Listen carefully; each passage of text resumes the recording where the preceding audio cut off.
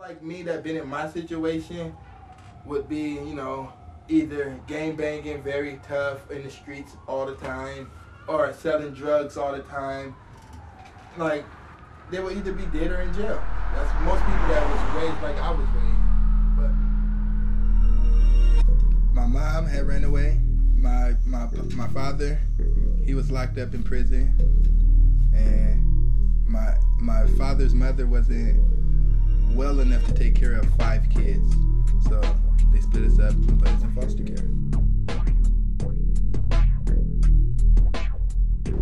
Foster care is when um, a parent, a biological parent, is not able to take care of their kid. So the government has to step in and be that child's parent.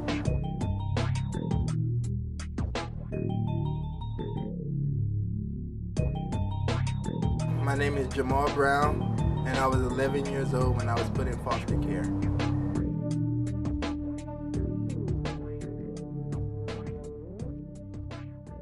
One night, um, my mom and dad had gotten to a fight, like a real fight, like fist fight, and the police came to the house and all that, took my dad to jail, and my mom was in the next room just going crazy, you know, like couldn't believe that her husband was in jail and she had five kids that was hungry sitting there wanting to eat and me being the person that I am, I took charge of the situation. I made something to eat for my brothers and sister. It wasn't much. Um, that was the first time I. That was the first time I actually remember that I cooked. I cooked some rice, and I think that was a, a rice for a first time cooker is hard, you know. And I cooked it, and it was okay, I guess. And I had popcorn. I made popcorn for him. You know, we had a rice and popcorn dinner, and like after that, it was like that's what made me think that like after I took that responsibility and you know thinking that thinking of my brothers and sister besides myself, that would made me think that you know made me notice that I'm a different person and made me act the way I act now that I'm growing.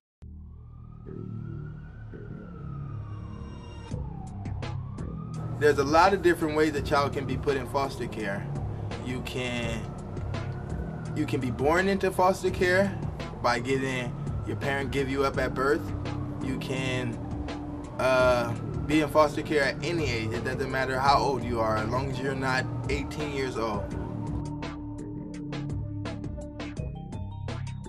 If I would have stayed with my real parents, I think it would have been a more of a negative situation. I would have either been dead or in jail. It's just because of the excuse me, it's because of the type of environment they put me in. You know, they didn't they was drug addicts yourself, they was drug dealers yourself, you know. My dad was a well known gang member, so it would only I only had a limit to where I can do, you know, or how far I can go.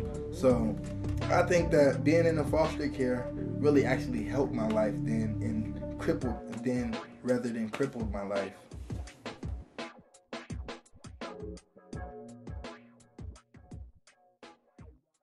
My mother, my father, you know, left me at a young age. My grandparents, you know, not enough love. All that just made me want to do better. So when I do become something important, I could be like, I told you.